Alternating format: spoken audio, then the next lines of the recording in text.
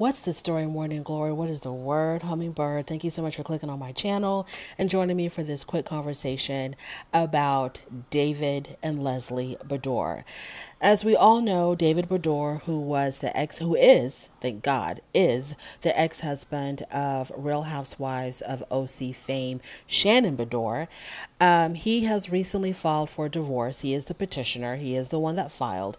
He filed for divorce um, for, to his currently estranged wife, Leslie Beador. Unfortunately, these two people have a daughter together. They've been married less than two years. I think they said exactly 23 months or something this marriage lasted. Um, and so he is also seeking full custody of their daughter. Now, when it comes to the property, marital assets, the article says here that as far as, uh, as for the property, the pair split their time between Orange County and Montana, where they also have a home. However, the full nature and extent of petitioner, David Beador, uh, of petitioner's separate property is to be determined at time of trial or settlement. Given the very short term marriage, there are nominal community property assets and debts. There is a prenuptial agreement effective October 9th, 2020, that does control. So there's a prenuptial agreement. So unfortunately, Leslie Beador is probably going to walk away with uh, next to nothing. And David is also seeking. Um, He's seeking joint, I'm sorry, not full custody. He's seeking joint physical and legal custody of their daughter. So David Beador is in court again, hopefully not fighting over property and assets and um, alimony. But as much time as David Beador spends in court, he should have gotten a law degree. He probably knows the law well enough right now that he can probably take the bar and pass it because he's in court quite a bit. I don't understand. This is okay, like I said, I have said this before. There is a content creator by the name of Erica De Niro TV. I think that is the name of her channel. And she always talks about uh, when women choose men who they already know the Yelp review for that said man. So, in other words, women will still decide to be with someone who clearly, you know, the woman before them had major problems with. But the new woman decides to completely ignore the problems and issues that the ex wife or the ex girlfriend had with same said man, that they want to throw caution to the wind and they think that it was either her problem or she can fix him or whatever issues they had, she's not going to have with him now. And Leslie Beador did not read the Yelp reviews. I am not trying to steal this idea from Erica De Niro TV. I'm just paying homage to the great, the illustrious Erica De Niro, Erica De Niro um, and using um, the lessons that she has taught us, to read the Yelp reviews and to pay attention to what this, or the woman before you had gone through.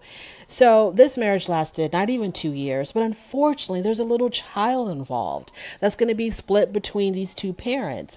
And that doesn't mean that this child is destined to be doomed or it's going to have a negative life or anything like that. But hell, it would have been a lot better if the child didn't have to be shuffled between two homes. So David Beador I mean, I don't know what to say. The guy was kind of weird and strange when we saw him on The Real Housewives of the OC. But then again, Shannon was also kind of weird and strange as well. Sometimes, you know, I kind of wonder if maybe.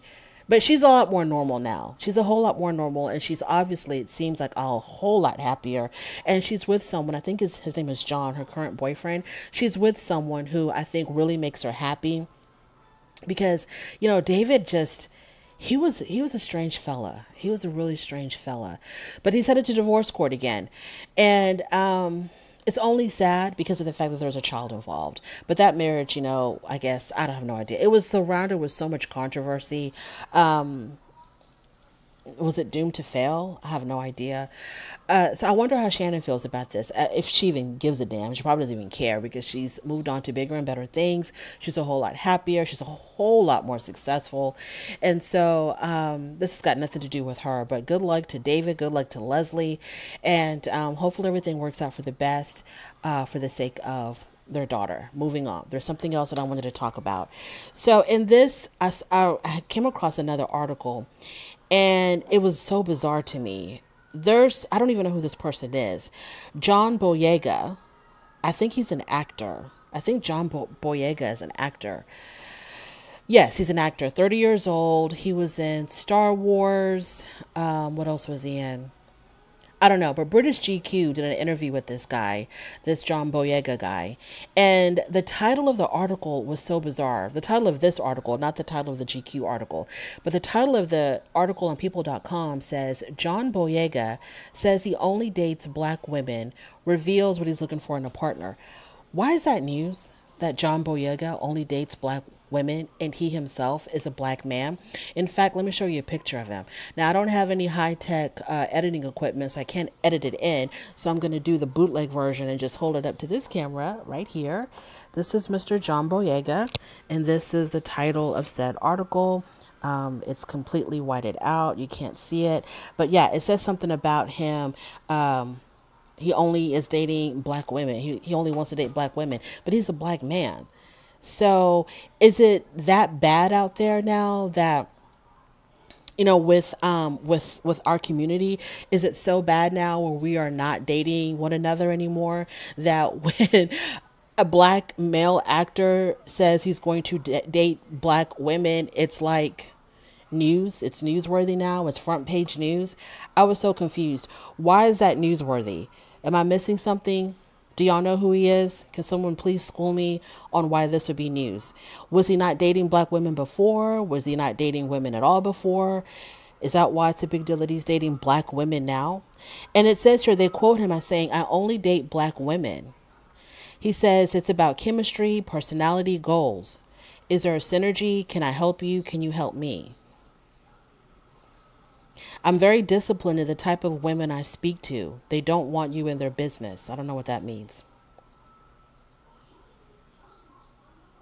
So I don't I didn't understand why that was news, who he dated and the fact that he only dates black women. I'm that's I have nothing else to say about John Boyega other than that because I don't know who he is. I don't know what his history is. But that's really all I had to say about that. It's like why is that news?